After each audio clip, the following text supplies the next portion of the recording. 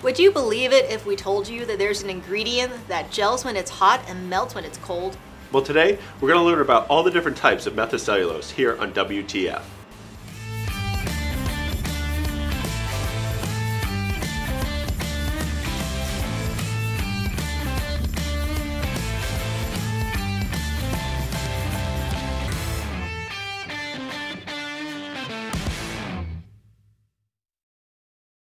Hello and welcome to WTF where we transform food here in the Modernist Pantry Test Kitchen. I'm Chef Scott Guerin. And I'm Janie Wang, the owner of Modernist Pantry.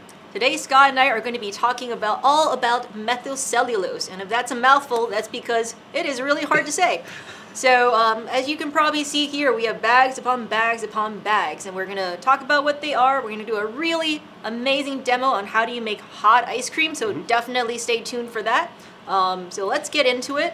Scott, we have like seven, eight bags in front of us right now. What is methylcellulose? So methylcellulose is a plant-based fiber, and, and, one of the biggest thing that people are going to see is like there's a lot of numbers and letters at the end of them. Yep. So it'll say Methocel or methylcellulose, and then letters and numbers. And mm -hmm. the mm-hmm. biggest thing we need to learn is how to read and understand what those are. All so right. the first letter is always going to be the grade of methylcellulose. And we're actually going to have a sheet on our blog mm -hmm. that you can go and look and see what that grade actually means. Mm -hmm. After that, there will be uh, usually a number and okay. then followed by another letter. Yep. So that number is uh, stands for you know the beginning of the viscosity. Mm -hmm. uh, so if it's going to be, let's just say we have A15C here. Mm-hmm. So 15 C, C stands for 100, so it's 1500 CP, and that's how people measure the viscosity. Okay, and for people who are not familiar, viscosity is just how thick it is. Yeah, how thick yeah. it is. So obviously okay. the higher the number, mm -hmm. the, the thicker it's going to be, the lower the number, the thinner it's going okay. to be. And, let, and let's get back right back to that, um, to that first letter, and I know you just said, you know, what A, so what is A in this case, that we have A15C here, right here? So A is a, is a super gelling uh, that um, if you take it and you put it into liquid, it's going to gel, you know, really firm okay. at, at, a low temperature, mm -hmm. and it's going to make be able to make something like hot ice cream that we're going to do a demo of in a little bit. Mm -hmm. And then every, uh, you know, there's K, there's F, there's E. Right. Uh, those all have different properties. So some of them are better for making uh, your barbecue sauce stick better to the, to the meat. Uh, there's right. some that are used for pie fillings to prevent that boil out when you're cooking right. it. So there's a lot of different things that we can do with methylcellulose. You just have to understand which one you need for what application. Right, yeah. So when we talk about gel strength, then we have like A through K, and we say like A is the, the highest gelling. Mm -hmm. um, what's the, is there a sequence there? The same thing with the numbers. Like, what's the um? I guess if you're you know if we're looking at so we're looking at A15C, so we know okay, it's a super high gelling. Yep. So so then, for A, yeah, super high gelling.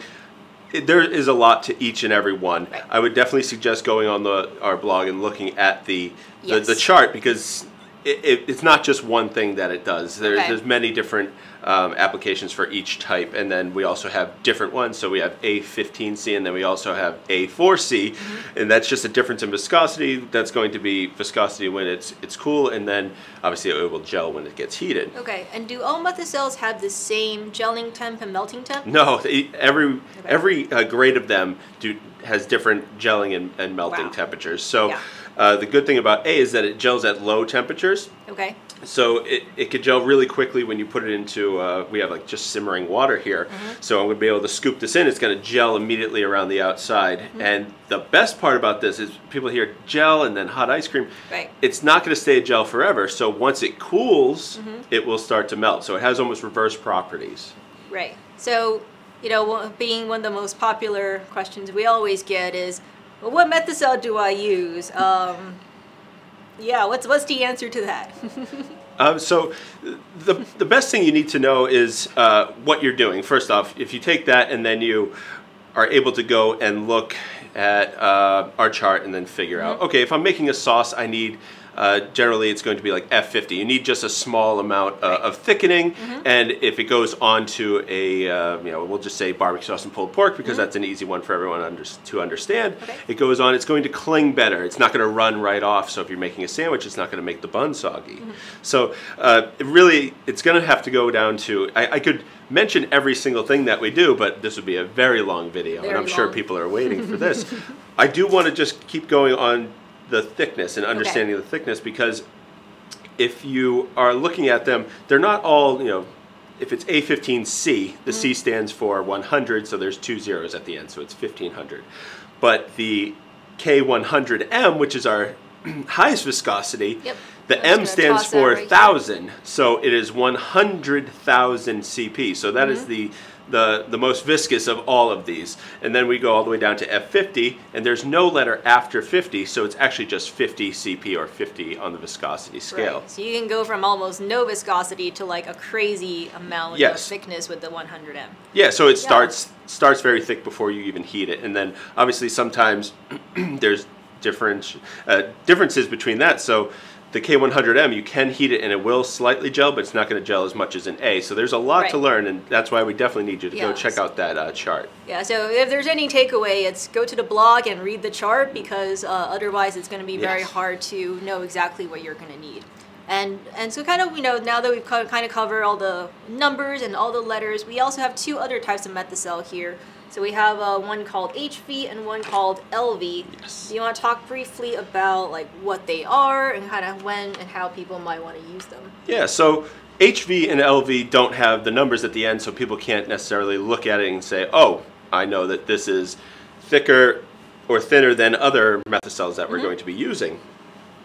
The HV stands for high viscosity. There you go. That's around 1500 CP. It doesn't have a, another grade to it. Doesn't mm -hmm. doesn't have a uh, a writing but after it, and then LV is low viscosity, so around 400 CP. Mm-hmm. So if you need just a, a, slight thickener, go with the LV. If mm-hmm. you need something a little bit more viscous, go with the HV those are the two most common ones that if you want to just use it just for a little bit of thickening, yep. use the HV and LV. If you want to get really deep into what you're doing, then you can use the uh, the more advanced uh, Methocels. Yeah, so, so, so, kind of fun fact, not necessarily food related, but uh, the LV can also be used to make slime. For, mm-hmm. for if you're, you have kids like Scott and I, yep. making slime with them, you can use Methocel to do that. Yes. It's also commonly used as a dietary fiber. So. Mm-hmm in case you didn't know, so you could use it for that as well, although we don't uh, tell people how much to use because we don't know.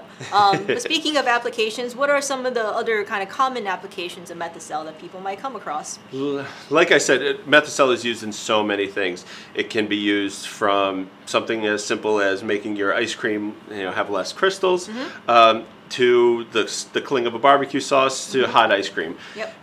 Before, when I said I couldn't name them all. I probably can't name every single yeah, one right it, here. It's pretty. there's so many uses for methocellulose. Absolutely, and I know there's also two types that we are not even covering today. Yes. What are those? So we have microcrystalline methocellulose and, and carboxyl methocellulose, yes. and those are completely different. And we'll do something on them uh, in a future WTF, yeah.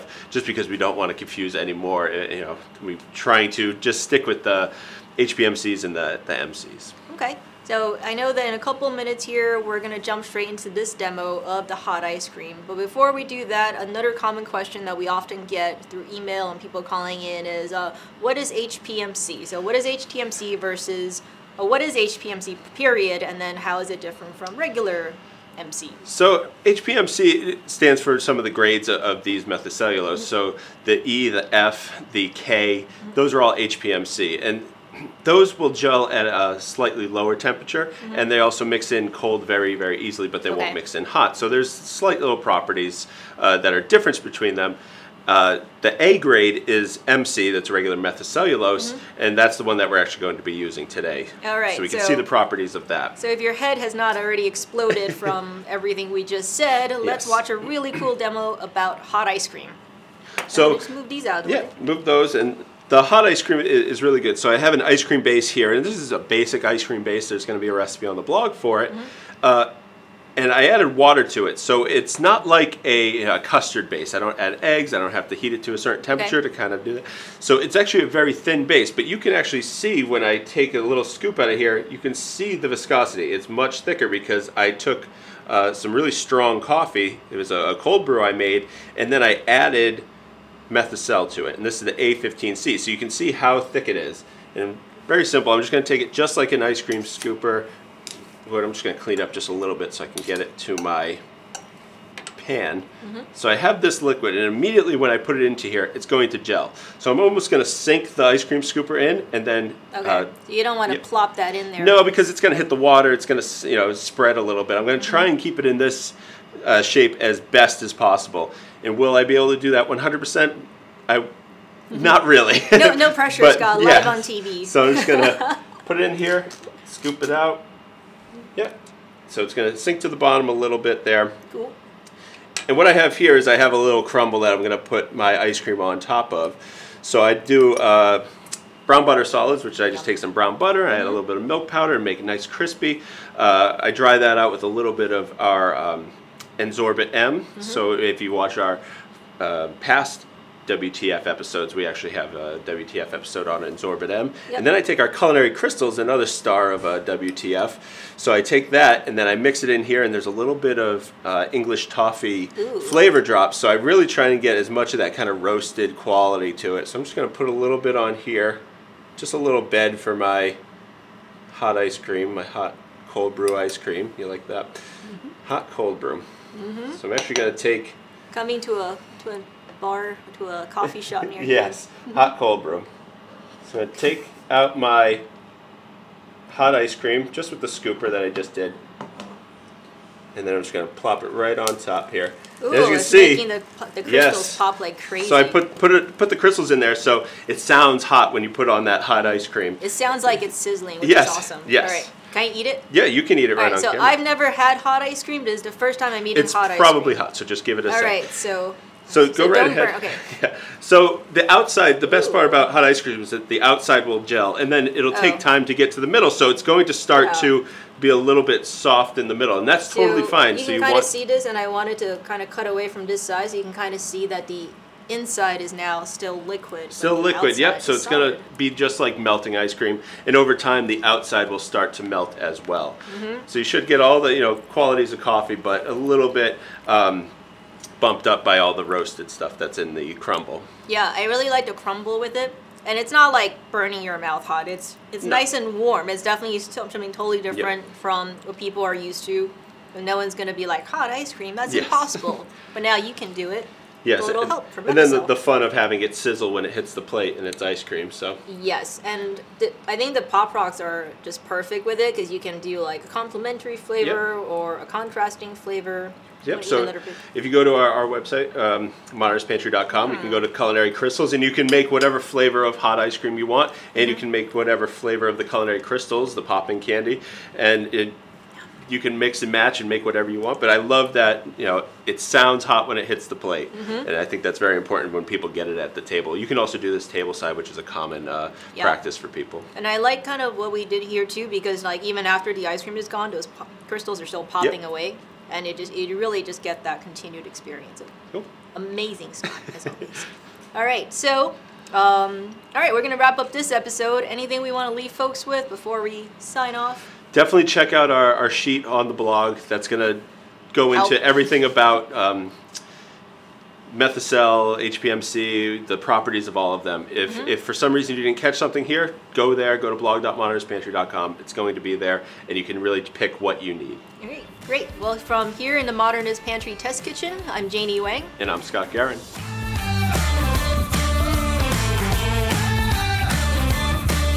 We hope you enjoyed today's episode. And if you want these great recipes and these awesome ingredients, first you're going to have to like, comment, and subscribe. And then you're going to go to blog.modernistpantry.com where you can find those awesome recipes and you can ask a chef. And to get these great ingredients, go to modernistpantry.com. And until next time, we'll be here in the Modernist Pantry Test Kitchen helping you transform food.